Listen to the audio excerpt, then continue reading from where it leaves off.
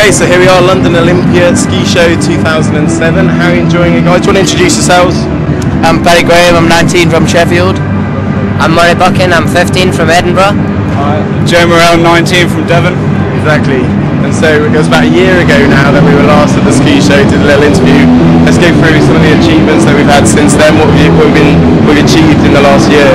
Um, I've really been uh, trying to push myself out to Europe. Came second in the Austrian Open, which is uh, which is really good for me, and I uh, won two of the Brits titles as well. That's cool, man. Right. And so heading back to Laax, when are you going to be out there? Uh, heading back to Laax around uh, around February. Gonna try and get a kickstart to my season in America before that, and then back to Europe. Hopefully there'll be some snow. And so Paddy's heading out to Laax. I know obviously you still got school things to do. Are you going to get, what, when are you going to be riding? Uh, just whenever there's school holidays, but um, if there's really big competitions like the Austrian Open, the European Open, uh, I'll take time off school and, and go and do them. Uh, the Brits as well. Uh, I, I want to try and do well in all them and get myself more noticed. And so Joe, like I just heard about you like this last season. I saw your video of the pistol flip and it was shooting around YouTube. So like how many seasons have you done? What? Well, basically, I've only, I started freestyle about uh, a year and a half ago, so I've only done one season. I was in Val d'Isere. And that was uh, Good marketing tool, that pistol flip of yours. Yeah. What, what, so what is it exactly? It's a rodeo. basically it's a Rodeo 7 to Misty 5. Like, I did the double backflip out in Val d'Isere right at the end of the season. So when I was out there this summer uh, in Saas-Fee, I was looking for something to like to get better, to like progress the, um, the doubles. Yeah, man. I kind of came up with it on the trampoline and went and did it. Really. How, So, where's yeah. the name from? Just It's from a guy uh, called Pistol Pete, basically. Um, Pistol P. yeah. Wasn't he in um, Super Ted? Super Ted? No.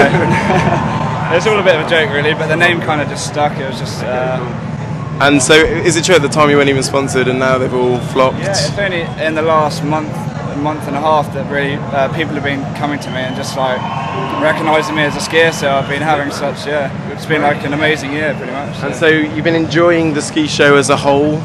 Have you managed to get out there to the stands? A wee bit.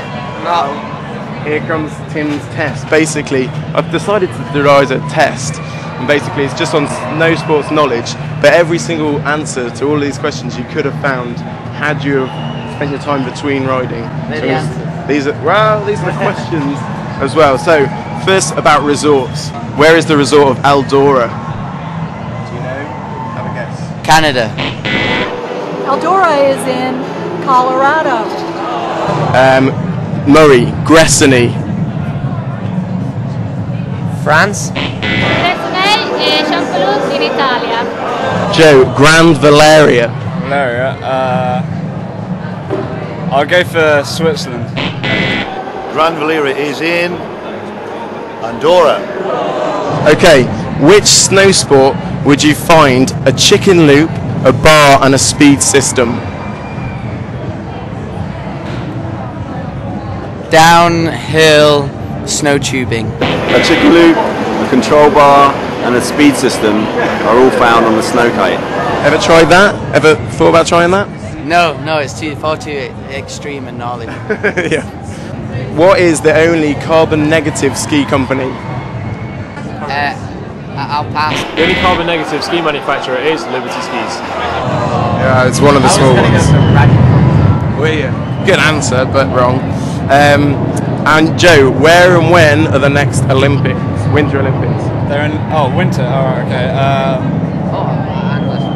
I don't actually know. I think I, I think I know. Is it Vancouver? What year?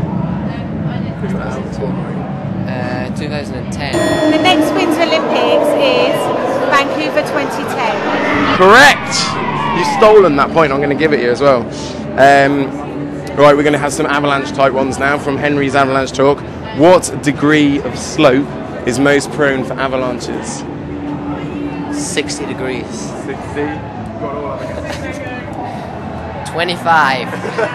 Go 50. And the most common slope angle for an avalanche is about 35 degrees to 38 degrees, which is like a black run steepness. So I guess the closest is. Yeah, yeah, yeah, yeah. Well, Murray is killing it. Okay, and which? So avalanches again. Which facing slope is most prone? Like north, south, east, or west? North. I I, I would say North Reserve. And most avalanche accidents happen on north or northish facing slopes. Which month is most prone for avalanches of the year? Talking obviously winter, our winter season. Um, I'd say probably January. Most accidents happen in December, January, and February, contrary to popular belief. A lot of people think it's March, but it's not. Um, last questions then. What is an what is uki? A type, a type of vermin. Yuki is snow in Japanese. That was hard. That was unnecessarily hard. I, I was going to say uh, a food. I was going to go for a sex position. Were you? Maybe you could invent it. How would it? How would it be? Oh, watch out! Watch out! And um, here's, here's a good one.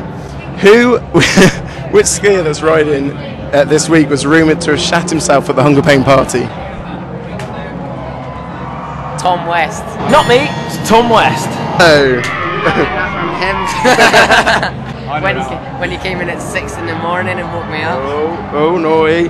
Which young snowboarder is featured in an British snowboarder is featured in an international snowboard, snowboard film this year? Uh, You, you know, you know. yeah, I do know. Uh, I don't know.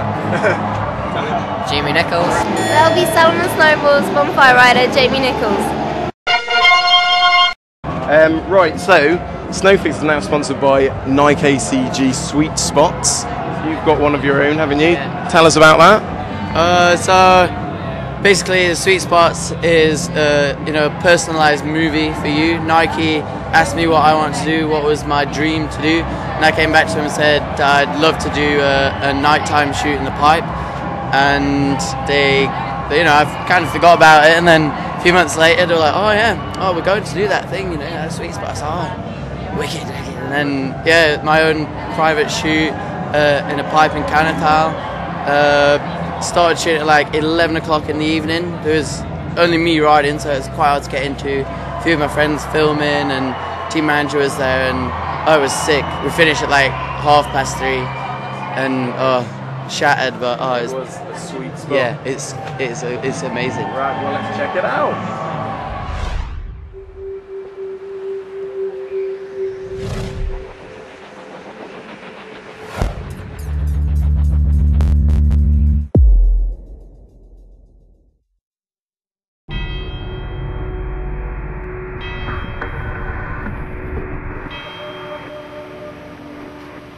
Went up to Kaunertal this year for night session. It's the first time I've done anything like this.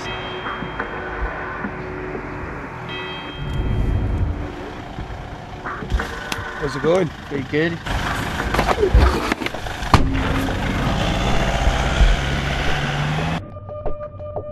It was a 40 minute drive to the pipe on the glacier. There are a few guys from the resort there to meet us.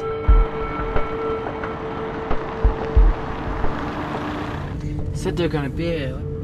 Where are they?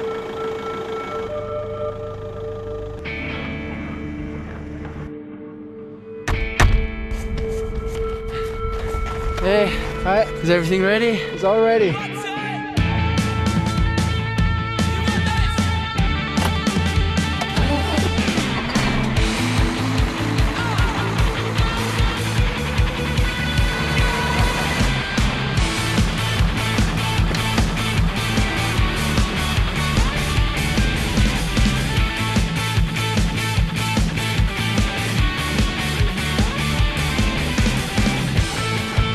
It was unreal being up there after midnight with all the lights.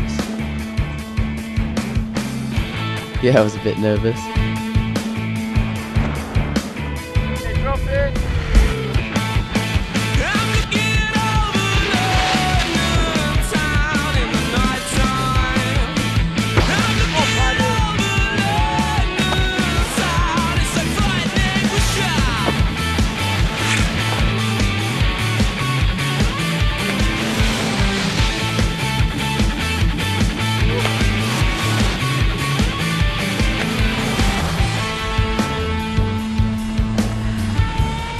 It was crazy. I was having so much fun, but I was getting tired from all the hiking. And spotting my landings were pretty hard. But I was looking for one big trick before we finished up.